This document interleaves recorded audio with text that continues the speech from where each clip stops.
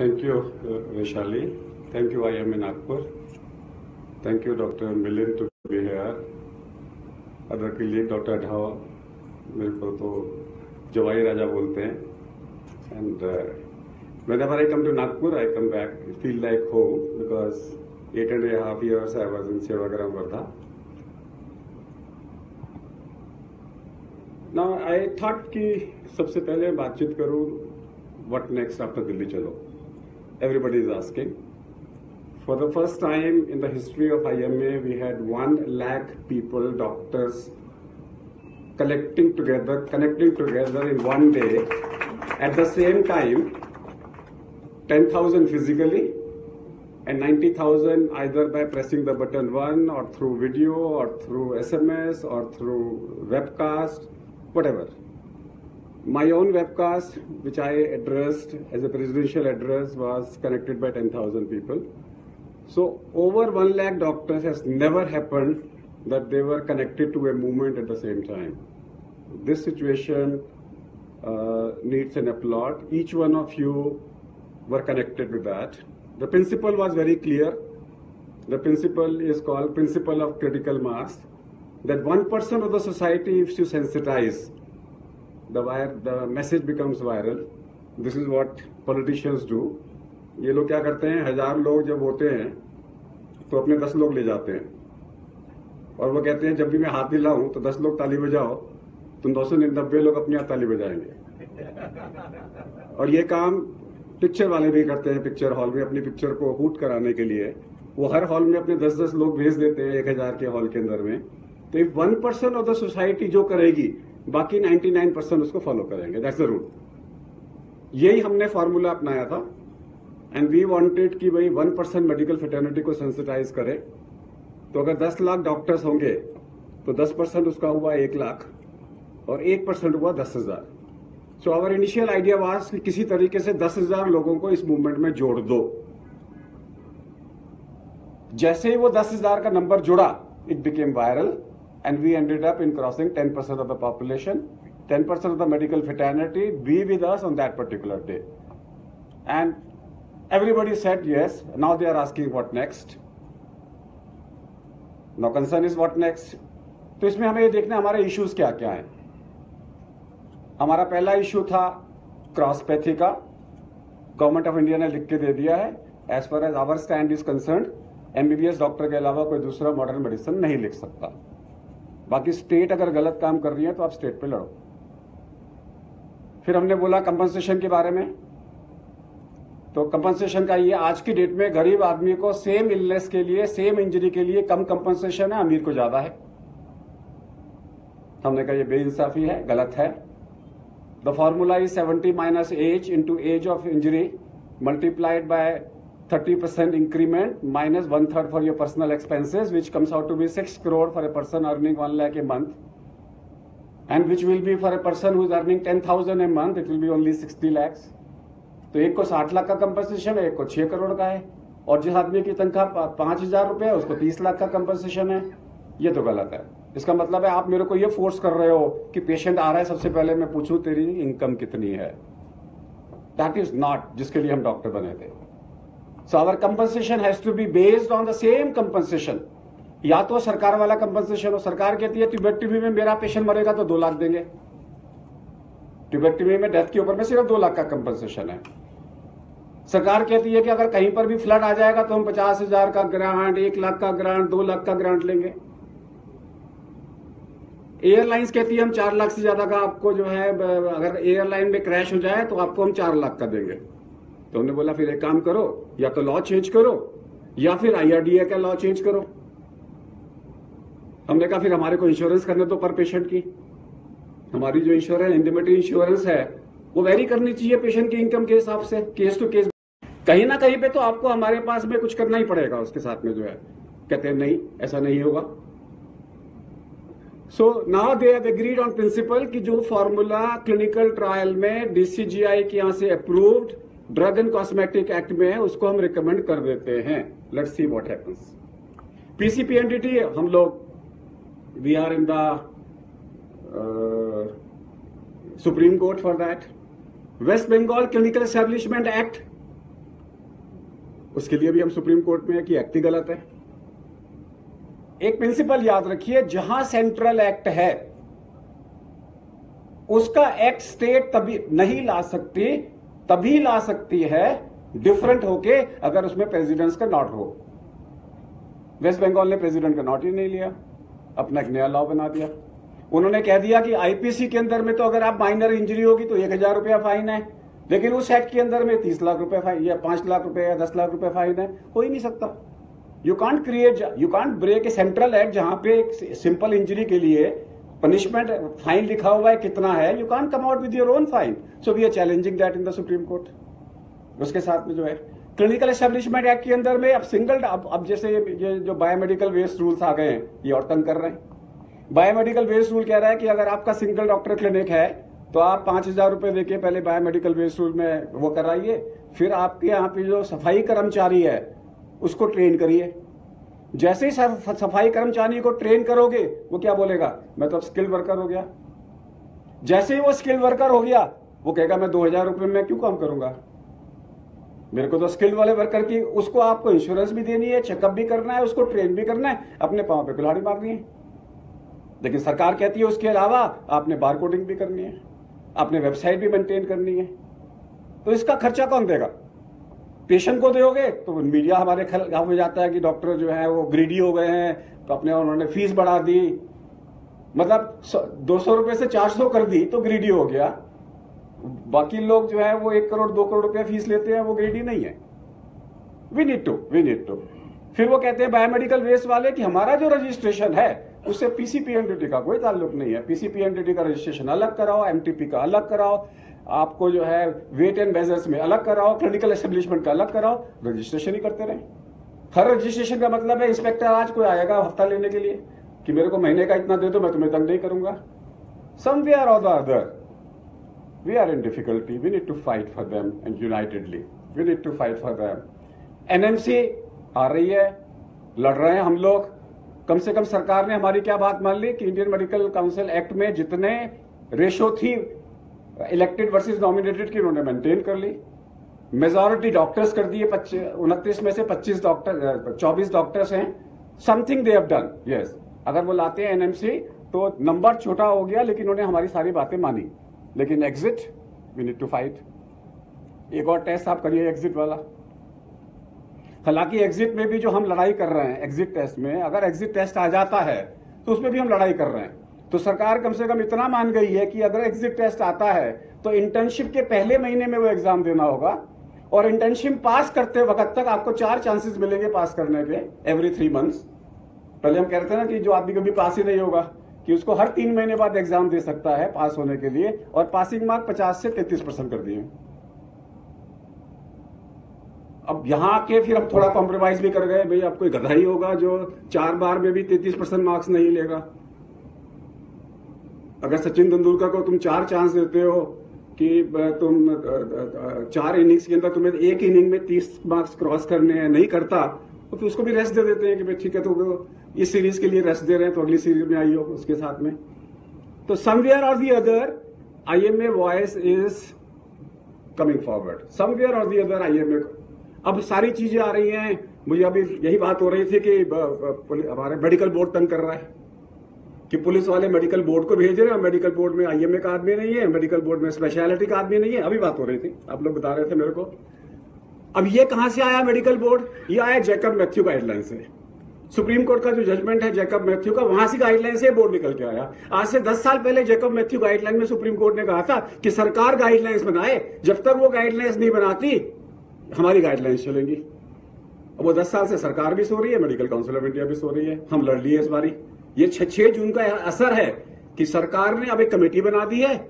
उस कमेटी की मीटिंग अभी चार या पाँच तारीख को है। आईएमए कैसे मैं रिप्रेजेंट करूँगा वहाँ पे? Now MCI suppose to make guidelines immediately अपनी अपनी सजेशन भेजो।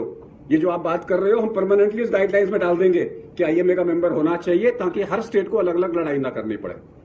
उसमें हम ये भी लेकर आएँगे कि what is criminal negligence criminal negligence के दो मतलब है। पहला मतलब है कि आपने जान बूझ के जानते हुए किया। There was an intent to harm कि आपने जानबूझ के पैसे खाए इंजेक्शन दे दिया, आपने केसीएल को फांस दे के मार दिया।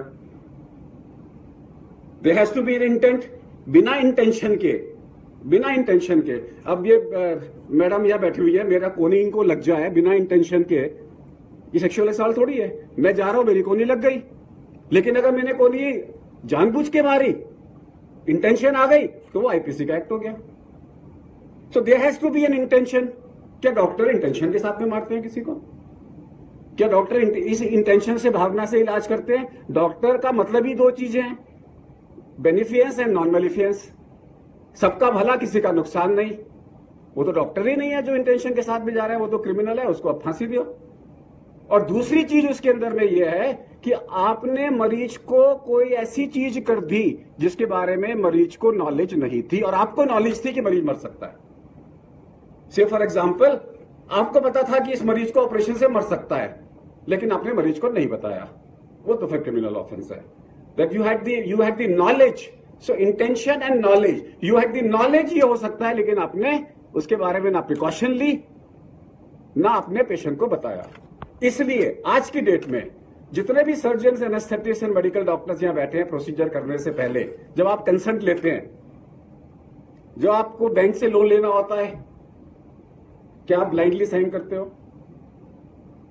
तो आप भी consent is a counselling consent is a paid procedure you can charge for counselling consent के अंदर में आपको कंसेंट तीन लेनी है। पहली तो कंसेंट लेनी है कॉम्प्लिकेशंस की।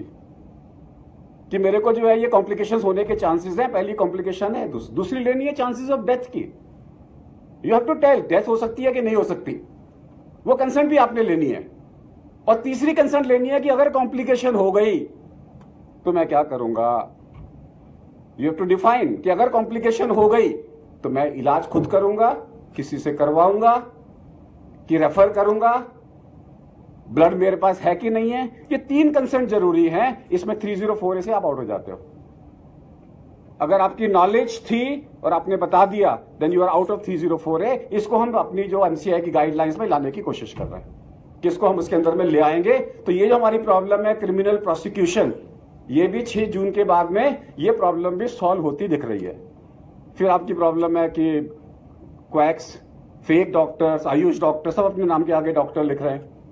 आप कहते हो कि वो वैद्य लिखें, वो कहते हैं कि नहीं, आप कुछ और लिखो। फिजियोथेरेपिस्ट कहते हैं, हम भी डॉक्टर लिखेंगे। अभी हमने ट्रेड से ट्रेडमार्क से हमने एनओसी ले लिया है। अब हम उसको रजिस्टर करने जा रहे हैं। प्लस का निशान 90 percent red not 100 percent of red cross with D R in white return in to wait ये आप सब एमबीबीएस डॉक्टर्स उसमें लिखे तो दूर से पता लगेगा कि ये एमबीबीएस का डॉक्टर है। So we let us differentiate our self तो क्वैकरी की कुछ प्रॉब्लम इसमें भी खत्म हो जाएगी। So we are trying to work at every possible level अब ये जो गाइडलाइंस दूसरी गाइडलाइंस में हम लगे हुए हैं, कि एमसीआई की गाइडलाइंस में लिखा हुआ है कि जब नेग्लिजेंस का केस होगा, वो एमसीआई डिराइव गाइडलाइंस की बेसिस पे उसमें डिसाइड होगा। वो गाइडलाइंस ही नहीं है। अब हम उसके भी पीछे पड़े हुए हैं, वो गाइडलाइंस बने। और जब वो गाइडलाइंस बनेगी, और आईएमए के मेंबर्स बनाएँगे तभी उसका फ़ायदा है ना, अगर कोई आदमी वहाँ बैठ के बनाए जिसने कभी फ़ील्ड में काम ही नहीं किया तो वो कैसे होगा? तो आज की डेट में IMA is doing a lot of things and all of you are the brand ambassadors of I M A convey the message community what we are doing with that कोई सवाल आईएमए के ऊपर में? Otherwise I come back to some more things IMA की working में जो IMA के issues हैं उसमें किसी का कोई सवाल है क्या? So practically we have answered every question जिसके ऊपर में हमने एजुटेशन किया था और हम आज की डेट में किस पोजीशन के अंदर में वी हैव बीन सक्सेसफुल लेकिन लेकिन हमारी यात्रा तो चालू रहेगी। अब हम सोच रहे हैं कि दो अक्टूबर को हमारा नेक्स्ट प्रोटेस्ट हो। थोड़ी बहुत जो चीज़ें बची हैं, कुछ चीज़ें और लेकर आए। हम इसके अंदर में जो है बिकॉज़ प्रॉब्लम तो नेवर एंडिंग है, एक जाती है तो दूसरी आती है। तो हम कह रहे हैं कि सारे दो अक्टूबर को सारे डॉक्टर सुबह छह बजे से लेकर शाम के छह बजे तक फास्ट करेंगे। और अगर हमारे एमएलए साहब ना करें, फिर तो मतलब नहीं ना कोई, फिर तो इनको अपना, इनको तो फिर हक बनता है सबसे पहले लीड करने का, उसके साथ में। फिर हमने सोचा कहाँ करें? तो पूरे इंडिया में सब जगह पे होगा। तो प्रोमिनेंटली हम डिस्प्ले कहाँ करें? जो जो जो हेडक्वार्टर्स के हम जैसे लोग हैं, हम कहाँ फास्ट पे बैठे? तो हमारे पास तीन ऑप्शन है। राजघाट में, महात्मा गांधी की कुटी में, सेवाग्राम में या फिर साबरमती आश्रम में। इन तीन में से हम एक को चूज़ कर रहे हैं। अगर अगर सेवाग्राम में हमने किया तो राव जी और मिलिंद जी की रिस्पॉन्सिबिलिटी पे आएगा। डॉक्टर गर्ग, वहाँ पे कस्तूरबा हेल्थ सोसाइटी से मैंने बात करी है। वो कहते हैं गेस्ट हाउसेज हम दे देंगे? परमिशन हम लेके दे देंगे। उसके साथ में I done some my homework Gujarat वाले जो है, वो साबरमती आश्रम के बारे में बात कर रहे हैं। दिल्ली में हम लोग कर रहे हैं। किसी एक जगह पे, करेंगे तीनों जगह पे। सेवाग्राम में तो होगा, हम आए या ना आए। हेडक्वार्टर वाले कहाँ बैठेंगे तीनों एक जगह में? लेकिन ये तीनों जगह में तो फास्ट होगा।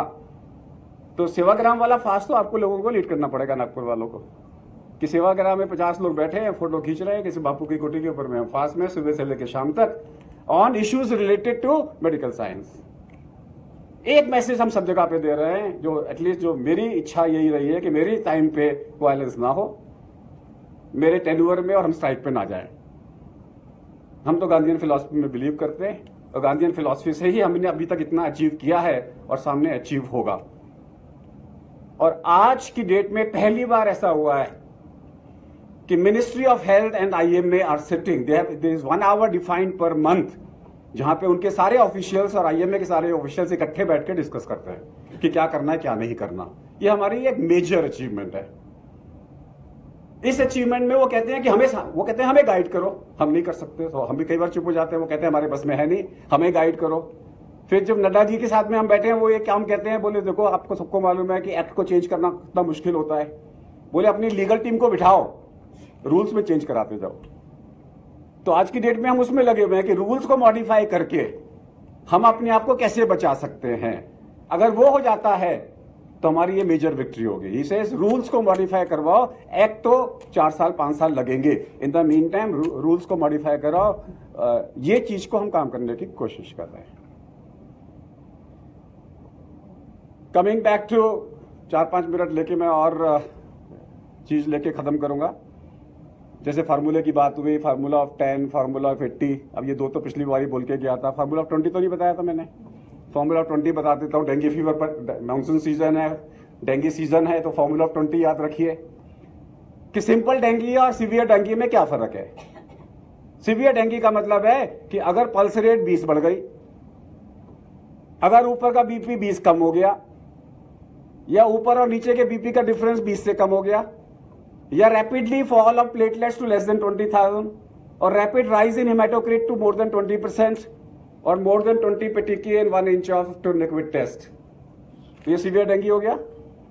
और जैसे सीवियर डेंगी हो गया 20 एम पर के जी बॉडी फ्लूड के हिसाब से फ्लूड स्टैट दे दो। और उसके बाद में फ्लूड देते रहो जब तक उसका पेशाब ना हो। जब हो जाएगा, हर तीन इतना फ्लूड देते जाओ कि हर तीन घंटे में यूरिन पास करता रहे, वो मरेगा नहीं। बड़ा सिंपल फॉर्मूला है फॉर्मूला ऑफ़ ट्वेंटी तो सीवियर डेंगू के अंदर में हमें इलाज करना है बाइल डेंगू की हमें बॉगरेशन ही नहीं करनी। No no it's a fluid resuscitation and not the platelet resuscitation which matters that's a formula of twenty अब मैं छोटे छोटे फॉर्मूले आ ही रहा हूँ तो और बता देता हूँ। जैसे फॉर्मूला एक होता है कि फॉर्मूला के अस्थमा के पेशेंट को एडमिट करूँ कि नहीं करूँ? अगर एक पेशेंट से पूछो कि तेरे को अस्थमा कब से अगर वो पूरा सेंटेंस बोल रहा है कि मेरे को कल से सांस फूल रहा है एडमिट नहीं करना। ओपीडी में ट्रीट करो। अगर वो सेंटेंस को शॉर्ट सेंटेंसेस बोल रहा है, मेरे को कल से सांस फूल रहा है। उसने एक सेंटेंस को छोटे छोटे चार में डिवाइड कर दिया। ही नीड्स इमीजिएट अटेंशन उसको रखो इनहेलर दो स्टीराइड दो, कुछ भी दो, उसको भेजो मत। लेकिन अगर वो वर्ड्स बोल रहा है, मेरे को सांस फूल रहा एक एक वर्ड बोल रहा है। He needs immediate admission. He is the one at risk. Simple formula है। ऐसा ही अस्थमा का एक और फॉर्मूला है फॉर्मूला ऑफ़ टू कि अगर रात को रात में रात में महीने में दो रात में महीने में दो बार या दिन में हफ़्ते में दो बार, या more than two canisters of asthma अगर आप इनहेलर्स इस्तेमाल करते हो साल के अंदर में then you have persistent asthma you need permanent inhalers ऐसे बहुत सारे फार्मूलेस हैं जिसकी बेसिस पे आप पूरी की पूरी मेडिसिन को याद कर सकते हो। फार्मूला 80 में दोबारा से गिना देता हूँ कि दिल की धड़कन नीचे का ब्लड प्रेशर गंदे कोलेस्ट्रॉल की मात्रा फास्टिंग शुगर और पेट की चौड़ाई 80 से कम रखें। इसके लिए 80 मिनट रोज चले हफ़्ते में 80 मिनट तेज चले कम से कम एक, एक मिनट में 80 कदम चले। 80 ग्राम कैलोरिक फ़ूड या 80 एम एल कैलोरिक लिक्विड से ज़्यादा एक बार ना लें साल में 80 दिन अनाज ना खाएँ। एयर एयर पोल्यूशन 80 से कम नॉइस पोल्यूशन 80 से कम। दिन भर में 80 साइकिल्स ऑफ़ पैरासिम्पथेटिक ब्रीदिंग करें। और ऑफ़ कोर्स जब मिलिंद साहब आएँगे और अपने दो शब्द कहेंगे मेरे बाद में। अगर उनके लिए अगर आप तालियाँ बजाओगे तो कम से कम अस्सी बजाना। क्या बात अभी नहीं उनके लिए रोक लो। उनके लिए रोक लो उसके साथ में। तो ये अस्सी का फॉर्मूला भी so the whole medicine the whole GPs medicine can be remembered in words of formulas Thursday को मेरा लाइव वेबकास्ट होता है इन फार्मूलाज के ऊपर में मेरा फेसबुक लाइव में।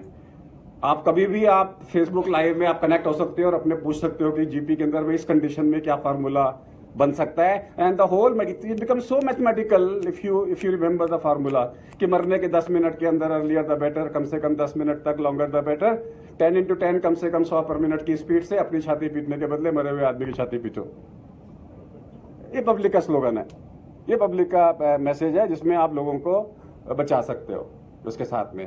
फिर हमारे साइंटिफिक के हमारे यहाँ की S G O T S G P T more than one thousand सिर्फ़ तीन कंडीशन है वायरल हेपेटाइटिस स्कीमिक हेपेटाइटिस तो वायरल हेपेटाइटिस स्कीमिक हेपेटाइटिस और या ड्रग इंड्यूस हेपेटाइटिस फिर लोग बोलते हैं कि बीपी लो हो गया. तो हम क्या देखते हैं कि जैसे किसी का बीपी लो हो गया तो हाथ पकड़ लो. अगर हाथ ठंडा है तो कार्डियोजेनिक शॉक या सेप्टिक शॉक या कार्डियोजेनिक शॉक या एमआई या पल्मोनरी एम्बोलिज्म या फिर फ्लूइड रिस्ट्रिक्शन अगर हाथ गर्म है तो मरना नहीं चाहिए अब क्या होता है कि जैसे ये मरीज़ आया, लो बीपी के साथ में हाथ पकड़ा, हाथ गर्म है तो अब क्या बोलोगे? चिंता नहीं करो, मैं तुम्हारे साथ हूँ। अब उसको फ्लूइड देते जाओ, बचेगा, क्योंकि वो, ये तो एनाफिलेक्टिक शॉक है सेप्टिक शॉक है। लेकिन अगर हाथ ठंडे हैं, पता नहीं बचेगा कि नहीं बचेगा। बच गए तो भगवान, नहीं बचेगा तो भी भगवान। किसने पहले ही बोल दिया था सीरियस है। अगर एक पेशेंट आता है एक्यूट ब्रेथलेसनेस से, उसका बीपी चेक कर लो। If the BP is very high क्या एक मरियल घोड़ा क्या एक मरियल घोड़ा ओलंपिक जीत सकता है? नहीं जीत सकता ना? तो अगर ओलंपिक जीता तो वो घोड़ा मरियल नहीं है। सो अगर बीपी भी हाई है और पेशेंट को एलवीएफ हो रहा है, इसका मतलब है कि हार्ट अंदर का अगर हार्ट कमज़ोर होता तो बीपी इतना राइज हो ही नहीं सकता था। इसका मतलब है हार्ट स्ट्रांग है, इसका मतलब डायस्टोलिक फेलियर है। इजेक्शन सेक्शन नॉर्मल है, इसका मतलब वो मर ही नहीं सकता। और अगर उसका घोड़ा वीक है बीपी लो है और पेशेंट को एलवीएफ है, ये बचेगा नहीं। क्योंकि पेशेंट की मोर्टेलिटी है तो क्या बोलोगे? एक पेशेंट गैस कर रहा है। आपने देखा बीपी 240 बटा 140 चिंता नहीं करो, मैं हूँ ना, मैं बचाऊँगा इसको। बचा लिया तो वो क्या बोलेंगे? आपके पैर पकड़ेंगे। कि आपने तो मरते हुए आदमी को बचा लिया। और दूसरा आदमी जिसका बीपी लो है, बोले, कोशिश करता हूँ। बचने की उम्मीद तो कम है, बच गया तो आपकी जय जय, नहीं बचा तो आपकी जय जय। So the medicine has to be taught in a way learning has to be done in a way that we bring that satisfaction and trust with the patients. And for that, we need to understand and go back and respect our teachers who used to teach us. We need to go back. Everybody, एम में यहाँ बैठे हो गप्पे मारो ज़रूर मारो। अपने सीनियर से हमेशा जाते मुझे एक टिप तो दे दे यार। वो टिप्स शेयर करो। जब वो टिप्स शेयर करोगे दैट सेव्स ए पर्सन मेरे से तो यही करो। मेरे से गप्पे मत करो जब आप कोई भी एक चीज़ का टिप मांग लो फ़ोन कर लो मेरा नंबर रख लो पूछ लो सर इसके बारे में कोई टिप बता दो। मैं तो टिप्स ही पढ़ाता हूँ। और इस टिप से ही एडवांटेज होता है। उसके साथ में। So I am going to end with last time पे, दो बार से मैं आप लोगों को शायद रामायण सुना चुका हूँ। आप में से कितने लोगों ने नहीं सुनी? सबने सुनी हुई है? कई लोगों ने नहीं सुनी। भगवत गीता सुनी हुई है मेरी? एक दो लोगों ने सुनी हुई है। भगवत गीता का मैसेज बड़ा क्लियर है कि जब भी कोई पेशेंट आपके पास आता है तो आप क्या करें? जब अर्जुन को परेशानी हुई, उसने बोला, मेरे पैर लड़खड़ा रहे हैं, मेरे हाथ पैर काँप रहे हैं, मेरे रोंगटे खड़े हो रहे हैं, मुझे, मैं कंफ्यूज हूँ, मैं क्या करूँ? Acute panic reaction with underlying depression he went to Krishna the counsellor Krishna ने क्या बोला? पहले चैप्टर में बोला, अठारह क्लासेस लूँगा तेरे को. पहले क्लास में उसने सिर्फ़ सुना अर्जुन को। फ़र्स्ट चैप्टर में Krishna does not utter a word एक डिप्रेशन के पेशेंट को अगर आप अच्छे से सुन ले I am not saying free सुन लें चार्ज करो। अगर आपने सुन लिया, आधी प्रॉब्लम खत्म। और सेकंड में इतना इतना ज़्यादा समझाया कि अर्जुन कंफ्यूज हो गया। तो तीसरे के अंदर में प्रसन्न मुद्रा में कृष्णा बोलता है, मैं, मुझे लगी रहा था कि तुम्हारा ये कंफ्यूजन होगा।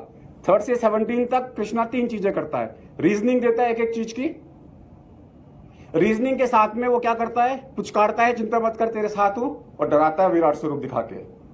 और अठारहवें में रिवाइज करता है, तब जाके संजय धृतराज से कहता है, जहाँ कृष्ण जैसे टीचर होंगे, अर्जुन जैसे स्टूडेंट्स होंगे, वहाँ जीत धर्म की होगी। जहाँ आप जैसे डॉक्टर्स होंगे, वहाँ जीत धर्म की होगी provided you follow this principles तो ये प्रिंसिपल्स को फॉलो करना बहुत ज़रूरी है। एक और प्रिंसिपल है वो है principle of leadership principle of leadership हम लोग तो लीडर्स हैं. We all are leaders you agree with us or not सतयुग में देवता थे तो दानव भी थे. त्रेता युग के अंदर में अगर राम था तो रावण भी था. द्वापर युग में कृष्ण था तो कंस भी था. तो आज के कलयुग में कुछ तो अच्छे इंसान होंगे, सारे अगर दानव हैं, कुछ तो देवता होंगे, वो कौन है? आईएमए मेंबर्स जो आईएमए के मेंबर्स हैं, वो सारे के सारे जो हैं, सतयुगी इन कलयुग हैं। इसलिए हमारा काम है, जिसका कोई नहीं उसका आईएमए जिसका कोई नहीं उसका IMA Nagpur. We have to help people जो भी हमारे साथ में आया, हमारा फ़र्ज़ बनता है कि हमें उसकी हेल्प करनी है। उसके लिए हमें लीडर बनना है। लीडर बनने के लिए हमें दस अवतार याद रखने पड़ेंगे लॉर्ड विष्णु के। पहला है मछली। मछली का मतलब है डिफरेंट सोचो। अपनी सोच बदलो। जो भी आपकी सोच है रिवर्स करो। मछली क्या करती है? पानी के बहाव से उल्टा चलती है। अपनी सोच बदलो। दूसरा चीज़ आपने क्या करना है सोच के अलावा? बट अगर आपको लगे कि सब लोग आपको, आपके साथ नहीं है, उनकी लेवल ऑफ़ अवेयरनेस आपके साथ नहीं है, पीछे हट जाओ। टॉटवाइज कछुए की तरह पीछे हट जाओ। Withdraw your self but persist like a सुअर boar because nothing is impossible Narsingh and to make possible every impossible as possibility become like a Vaman साम दाम दंड भेद work with non corruption fight with corruption Parshuram become a leader like Ram learn राजनीति like Krishna but work for the welfare of the people Buddha and if you have these nine characteristics one of us will become the कालकी of today and this is these are the nine qualities of a doctor we need to follow them we need to do them हम सब बोलते हैं कि हम भी इंसान हैं। होंगे। लेकिन ठप्पा लग गया हमारे को डेबी गॉड का। अगर वो ठप्पा लग गया तो हम फंस गए। हमारा काम तो हेल्प करना है, करनी ही पड़ेगी। आप फंस गए, एक बार शेर में बैठ जाओ, उतर नहीं सकते, खा जाएगा आपको। क्योंकि आपने डॉक्टर शब्द लगा लिए आपके नाम के आगे तो you have to be a brand ambassador and a celebrity of the society I am going to end with my Ramayana जो लोगों ने कई बार सुन रखी है, कि मेरा शरीर पाँच तत्वों का बना है, जो तत्व दिखाई देता है वो पृथ्वी अगर मेरा शरीर पृथ्वी, इसको बोलते हैं के के अग्रवाल की रामायण। मेरा इंटरप्रिटेशन है एलोपैथिक लैंग्वेज में मॉडर्न मेडिसिन के अंदर में, कि जो तत्व दिखाई देता है वो पृथ्वी तो पृथ्वी की पुत्री सीता सीता यानी कि मेरा शरीर। अगर मेरा शरीर सीता तो आत्मा मेरी राम। अगर राम मेरी आत्मा तो लक्ष्य, मन एम वाला mind mind with an M Lakshman is my mind so देखो Ram, Sita, Lakshman in mind body and soul तीनों इकट्ठे कब होंगे? जब दसों इंद्रियाँ कंट्रोल में होंगी। इंद्रियाँ चंचल होती हैं, चंचल घोड़े होते हैं, दो घोड़ों को रथ बोलते हैं, दस घोड़ों के रथ को दशरथ बोलते हैं। मेरे शरीर में दसों इंद्रियाँ कंट्रोल में रहेंगी, दशरथ का राज रहेगा, Ram, Sita, Lakshman mind body soul इकट्ठे रहेंगे, कोई भी लाइफस्टाइल बीमारी नहीं होगी। लाइफस्टाइल बीमारी होने के लिए तीन चीज़ें होनी ज़रूरी है, काम, करो पाँच चीज़ें, काम, क्रोध, लोभ, मोह, अहंकार। काम यानी कि केकई लोग यानी कि मारिच, अहंकार यानी कि रावण, तीनों में से एक भी नहीं था तो रावण नहीं थी। काम यानी कि वासना यानी कि के केकई सामने आएगी, इंद्रिया यानी कि दशरथ मरेगा, काम से क्रोध पैदा होगा, लक्ष्मण सुपनका की नाक काटेगा, अहंकार रावण आएगा, लोभ बारिश को भेजेगा, मोह पैदा होगा, राम लक्ष्मण भटकेंगे, सीता यानी कि मेरे शरीर पे अहंकार यानी कि रावण का राज। जैसे मैं अहंकारी हो गया, सारे लाइफस्टाइल डिसऑर्डर्स आ गए। अहंकारी हो गया, ना क्या फ़र्क पड़ता है? मैं तो मीठा भी खाऊँगा, मैं तो ये भी खाऊँगा, मैं तो वो भी खाऊँगा एक्सरसाइज नहीं करूँगा, मेरे पैर दबाओ, मैं सारे गलत काम करूँगा जो भी है। जो भी चीज़ें हम लाइफ में मना करते हैं, मैं नहीं करूँगा। मैं तो अब सेठ बन गया, साला मैं तो साहब बन गया। और अब मेरे अंदर के अहंकार यानी कि रावण को मारने के लिए सबसे पहले मुझे अपने मन को काबू में लाना पड़ेगा वायु द्वारा, वायु पुत्र हनुमान, यानी कि प्राणायाम पैरासिम्पथेटिक ब्रीदिंग करके अपने अंदर को हम हनुमान को जागृत करके सारी हनुमान सेना जो मेरे विचार है, बंदरों की तरफ़ उदकते हैं, मैं उसे कंट्रोल करूँगा। जब मैंने अपने माइंड को कंट्रोल कर लिया तो माइंड के बाद इंटेलेक्ट को कंट्रोल इंटेलेक्ट यानी कि राजा, यानी कि इंटेलेक्ट यानी कि सुग्रीव। और सुग्रीव को कंट्रोल करने के लिए लस्ट यानी कि वाली को कॉन्शियसनेस यानी कि राम के द्वारा प्रत्याहार, यानी कि एक स्पिरिचुअल एटमोसफियर में मुझे उसको मारना होगा, जैसे ही मैं वाली को मारता हूँ, और फिर मन लगा के काम करता हूँ तो सबसे पहले मेरा रजस तमस, यानी कि कुंभकर्ण मरेगा, मेरी सुस्ती मरेगी। फिर मेरा एग्रेशन यानी मेरे अंदर का मेघनाथ मरेगा मेरे अंदर का अहंकार यानी कि रावण बनेगा। उसके बाद में मेरे शरीर में विभीषण यानी कि सातवा will take over Ram Sita, Lakshman फिर इकट्ठे हो जाएँगे लाइफस्टाइल बीमारियाँ कम होनी चालू हो जाएँगी। और जैसे reversal of lifestyle disease start I need to continue with Hanuman that is parasympathetic breathing इसलिए जब भी मेरे को पैरासिम्पथेटिक ब्रीदिंग मैंने सीखी तो वो मैं लाइफ लॉन्ग तक कंटिन्यू करूँ और युधिष्ठर की तरह ऊपर पैदल चलता हुआ जाऊँ। I should die young in old age that is the basic concept तो अब मैं कहूँगा, विशाली जी, आप ऊपर आए। विशाली जी कहीं ऊपर आए। मिलिंद जी, आप विशाली जी के साथ में खड़े हो। अड़ो जी और प्रशांत जी, आप भी इधर आए। अब सब लोग इनके लिए अस्सी तालियाँ बजाओ।